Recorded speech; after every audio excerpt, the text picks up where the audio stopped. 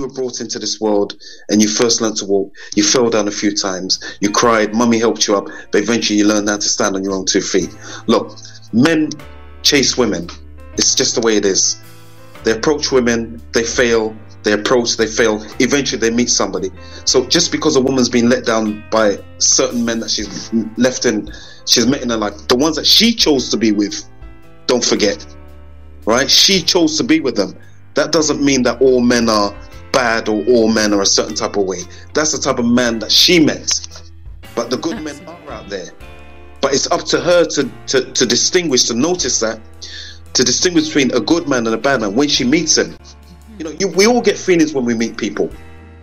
I've always said this it's, it's better to meet a woman who holds back before anything happens. You get to know each other. Just like the, the old days when you used to court. It's not like you just meet and then you jump into bed together. No. You need to, men respect women who hold back. Men respect women who are interested in them, but wait for the right time.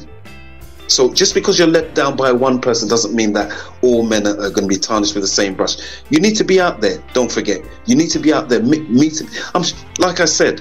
You know, uh, it's a catch twenty two now because fear has been put, instilled into men where it's wrong to approach women. But this is the best way for us to meet in the library, on the bus. This is natural. Rather than, oh, I'm not in the mood to date now. Um, I'll wait to get home and then I'll get onto my phone.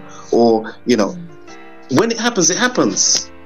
You know, happens. But the, the, the best way is naturally out there in the open. All right, social media, there's some happy stories, there's some success stories. But the best way is the way God made it on planet Earth. You're supposed to meet people face to face.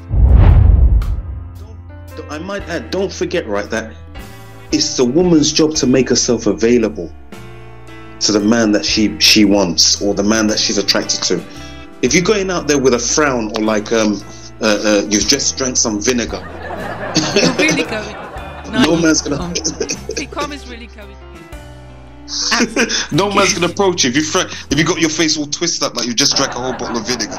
No man's gonna say. You know finish off what you're saying and also end with something positive for the lady, something positive for the lady. Yeah, I mean, I mean, listen, it, I mean, this is intelligence itself. I mean, obviously, not all black women, women are unresponsive. There's going to be some nice ones out there, absolutely. but they're very few.